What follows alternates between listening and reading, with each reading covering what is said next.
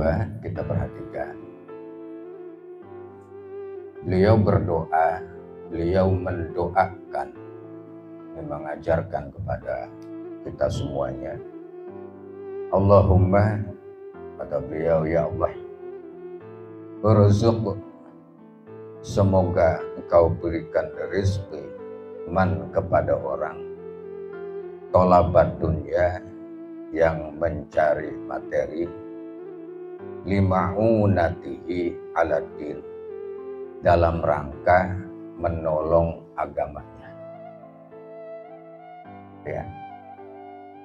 Dia pertama berdoa dalam rangka tibyanan, ya, dalam rangka mendidik buat kita.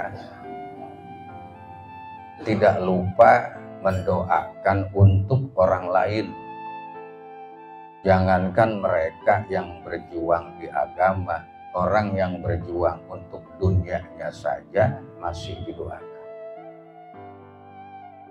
Di sini kata beliau mohonnya kepada Allah karena doa adalah sebuah permohonan.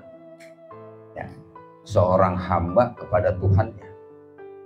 Maka bahasanya juga kudunya santun karena orang yang mohon kepada Allah.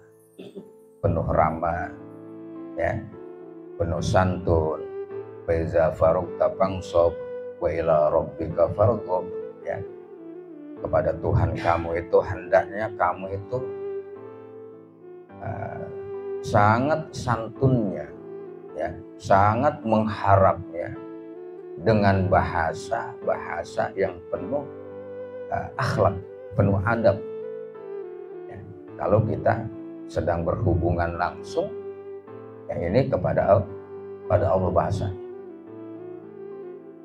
Maka kata beliau kalau di sini Allahumma ya Allah yang maha agung yang maha mulia. Semoga engkau memberikan pertolongan, memberikan rezeki man kepada orang tolabat dunia yang mencari dunia. Tolonglah orang yang mencari dunia. Yang mencari materi itu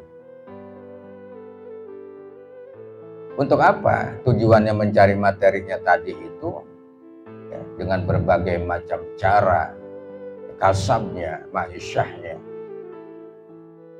atau mencari nafkahnya itu sesuai dengan potensinya masing-masing.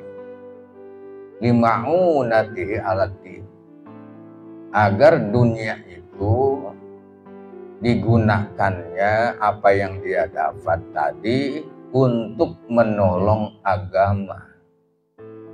Supaya rezeki yang didapat itu untuk menolong agama. Supaya orang gak lupa.